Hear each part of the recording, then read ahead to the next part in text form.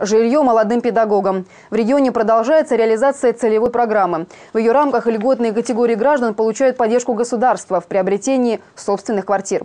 Улучшить жилищные условия имеют возможность и учителя в возрасте до 35 лет. Наш корреспондент Ирина Шашкова побывала в гостях у семьи Ковалевых и поздравила их с новосельем.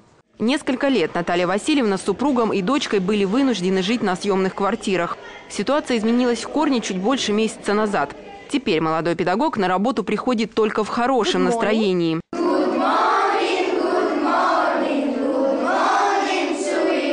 Весной прошлого года Наталья Ковалева стала участником госпрограммы по улучшению жилищных условий молодых учителей. Мечта о собственной уютной квартире стала реальностью. Вот одна наша комната, диван, стол.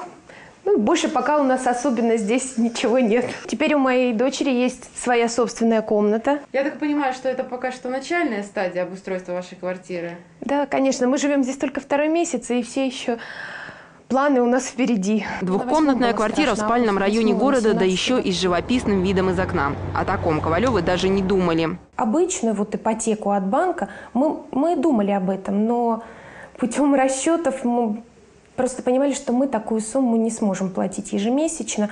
А здесь у нас, ну, в принципе, получается не так много, не намного больше, чем мы платили за съемную квартиру аренду. Поддержка государства в приобретении жилья существенная. Молодой педагог берет ипотечный кредит. Первоначальный взнос не более 20% от суммы займа оплачивает областная казна. 20% на первоначальный взнос от стоимости квартиры. Ну, у нас это получилось 257 тысяч. Потому что так мы, конечно, бы не решились на ипотеку. В этой программе и проценты поменьше, 8,5%. И все-таки эта субсидия тоже имеет значение. Чтобы стать участником программы «Жилище», учитель должен иметь стаж не менее года. После получения социальной выплаты педагог обязан отработать еще пять лет.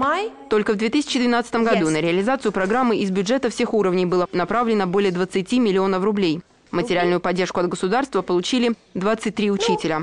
Ирина Шашкова, Владимир Придворов, телеканал «Сеим».